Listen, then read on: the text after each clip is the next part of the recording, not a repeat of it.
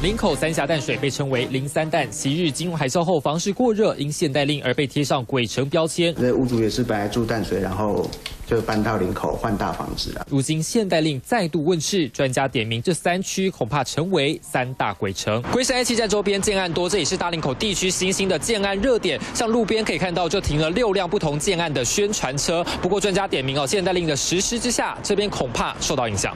沿路全是建案广告，相较于 A 八、A 九，林口已经趋于饱和，龟山 A 七推案热区也进入交屋潮。类似这种投资客多的区域，除了龟山 A 七，专家还点名台中北屯机场特区、台南高铁周边归仁地区，恐怕都会出现退订潮，点灯率不高，沦为新鬼城。我认为是台中会比较大，最主要是因为看好这个捷运通车带来的一个效应。那如果捷运通车有没办法这个快速的啊解决这个呃。这个变数的话。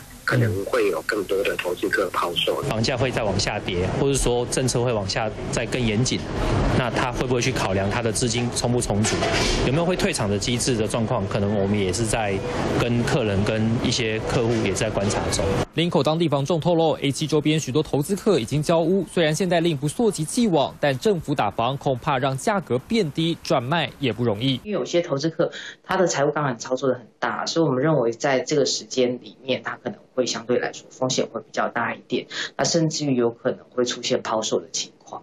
央行出手射箭，射向投资客购买多屋，公司法人置产炒楼，让房市炒作和囤房风气有所节制。但北中南突然重症，恐怕因此沦为新鬼城。